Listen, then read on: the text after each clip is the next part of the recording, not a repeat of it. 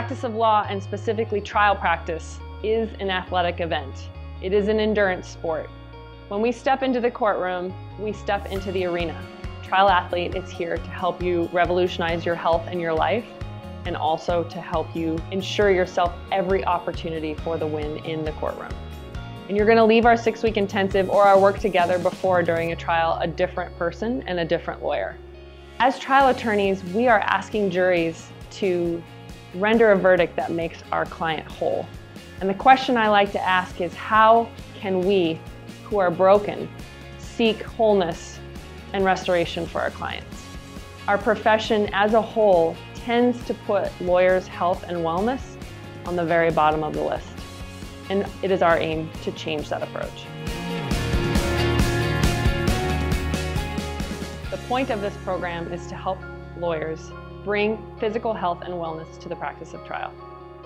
So the problem is trial attorneys specifically spend so much time and energy preparing for trial, jury selection, expert witness, witness prep, focus groups, you name it.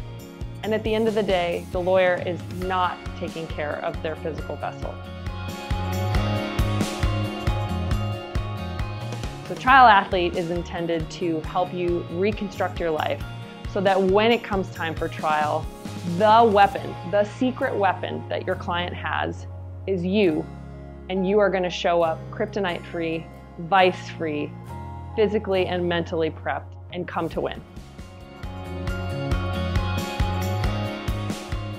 One of the big things we're going to talk about is drinking water, starting your day with drinking water, crafting an impeccable morning routine, whether that's movement, meditation, whether it's doing a gratitude app during your coffee time. We're going to talk about things like how you can move your body in a local park, doing push ups and sit ups on a nearby picnic bench. Movement such as walking, swimming, running, cycling. This isn't a matter of being fit or ripped or skinny or thin.